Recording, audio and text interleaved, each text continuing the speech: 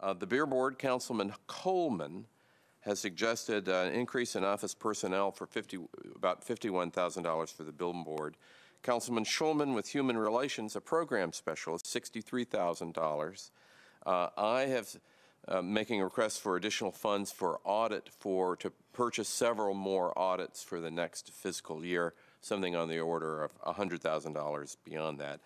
Wanted to raise these.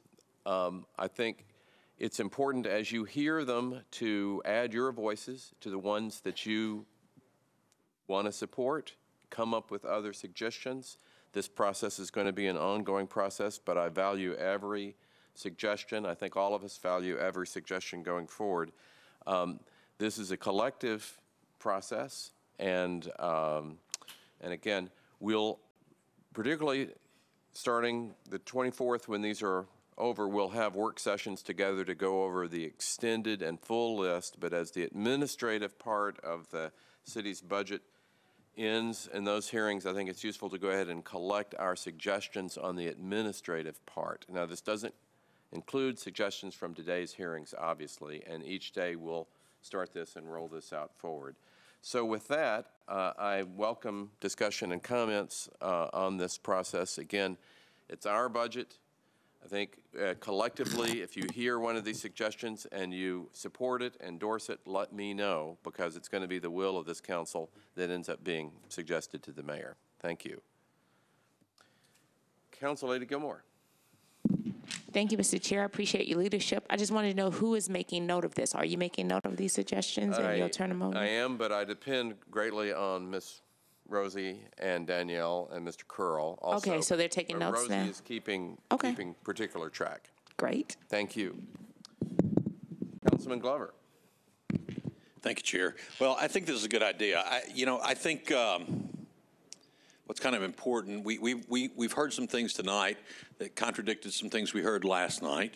Um, last night, I, I think that I am leaning towards, and I didn't hear you mention on the codes, the $828,000 there. Uh, I'm certainly in that arena. Um, and, and I, so the, I don't want to assume, but I'm going to go ahead and assume the way this is going to work.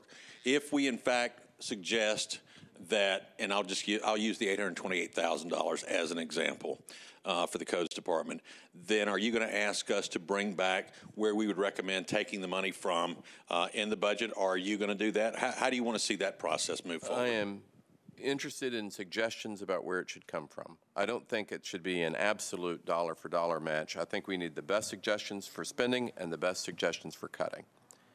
Um, and And so, because some of the, in the end, everybody's spending suggestions comes from the same cut. So um, you, you, need, you need to balance those, in my opinion. And, uh, and it'll be difficult, and we'll have to work together to know how to cut and what to balance. But for the moment, uh, all good spending suggestions let's make, all good cutting suggestions let's make. Okay, but at the end of the day, the 2.2 is what we're dealing with, and I'm, I'm rounding Yes. there. 2.2 is what we're dealing. Yes. So somewhere, if, if we say we want to add positions, or we would, we'd like to enhance this department, it's going to have to come from somewhere. Yes. Okay. Yes. All right.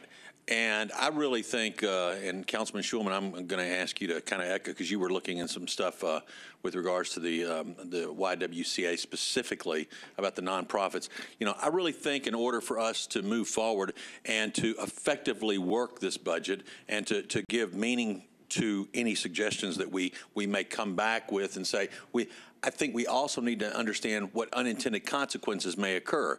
Point in case, I thought tonight the 200,000 was new money, which in reality it may not be. Uh, and so I, I just think I want to understand that completely as we continue climbing through uh, the, the, the budget. as we climb through together on the Yep. budget. And there will be a parallel cut list that's going to need everybody's collective wisdom behind that as well, too.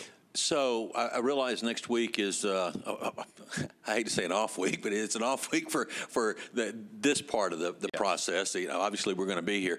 Would it be possible for you to have uh, kind of a running total of where we think we are in the money that, uh, that various members here feel like that we need to add into, not necessarily add into, but we need to Well, we'll try to Shift. We'll try to true that up, if possible, before we get to the capital budget week, Okay. based on the administrative week that we're having this week. I I just think that if, if you're able to give us that, let's say Monday at our normal Budget and Finance Committee meeting, and we just see the dollars and we see the departments, that doesn't mean you are necessarily endorsing, nor is anyone endorsing any of these particular moves.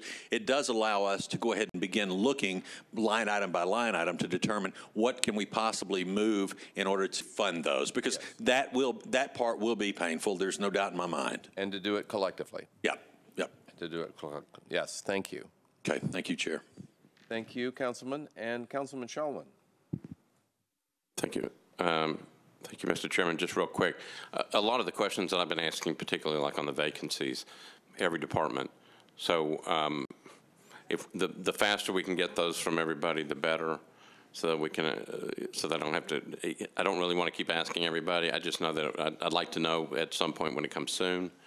Um, And I know that Rosie's working on it. And the other thing I would recommend, or at least um, and it kind of fits in with something that, that Councilman Glover said, and that is, uh, not everybody can attend all the budget hearings, right? Um, Wish list items, um, and the questions that are coming up, um, I think once we get the answers to it, you know, sending out something to all the, all the council members so that they know what to look for, the questions are there, the answers are there, um, and then maybe even get them out before you have your big session so people can go, well, I don't understand this. So I know like on the police stuff today, um, trying to add those two numbers together and then trying to figure out eight months, and then is that, because that is a commitment. Once we get that, there's going to be money involved for it for next year, but I think it's probably going to need an increase because that's only, I think it was only for eight months. So trying to make sure we understand all that stuff, I think would be really, really helpful. So that's what I would recommend is just at some point when we get those information, those questions in, we may have done this in the past, but just something like, this is what was asked and here's the information. Well, and we'll do, with Rosie's help, the best job of organizing the information and getting it out uh, as we're kind of creating this new um, budget process. Uh, Thank you, Councilman. And back to Councilman Glover. Yeah, I, I wanted to ask uh, the finance department. uh, When I was over on on the school board, uh, we were we kind of kept a running total, and we knew at the end of the year what money had been allocated for positions that were that ended up not being filled, and what that made up of the budget. And we kind of kept a running track to where I would know, or the the board would know. Let me rephrase it: the board would know kind of what that percentage looked like, and it was always I want to say around a half a point to a point, somewhere in that range. Is there any way that you can provide to this council while we're going through this budget hearing to give us what percentage of the budget goes unspent because of unfilled in all the departments across the board?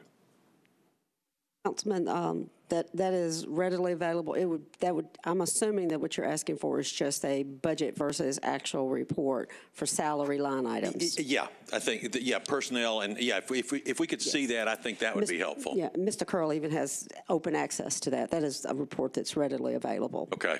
Okay. Well, I mean, it- I while don't, it I may just be. don't re- know it- if you want that to come through finance or through, s- Where- It does, it, it can come through, Mr. Curl. It doesn't make any difference to me. I just think that that's something we need to look at too, Chairman. Uh, I think it will give, it, and Mr. Curl, since we're going to go down that path, can, can you give us some historicals for the last four years? Uh, that way we can kind of see what that percentage number looks like uh, over the, the, the four-year period. I, I think that will be helpful for us as well, Chair. I agree. Thank you, Councilman. Um, Well, much to come, and seeing no one else in the queue, we are, this committee is adjourned until 3:30 on Monday afternoon for our regular council budget and finance work. The weekend off. Thank you.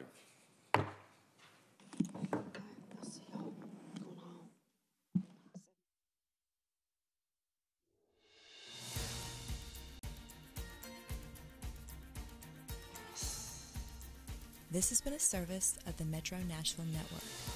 If you would like to see this presentation again, or for more information about this and other programs, visit nashville.org.